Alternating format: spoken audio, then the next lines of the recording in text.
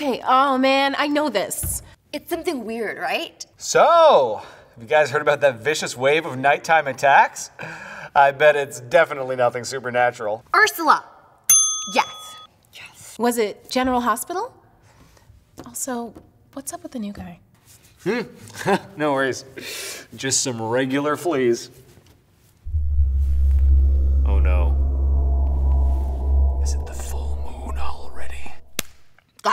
Young and the Restless. Oh, I totally knew that.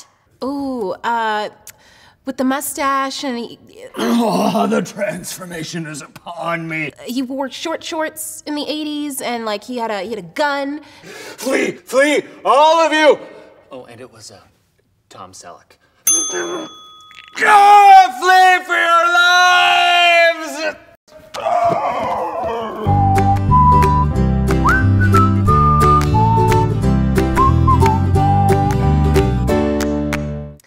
Was that weirdo okay?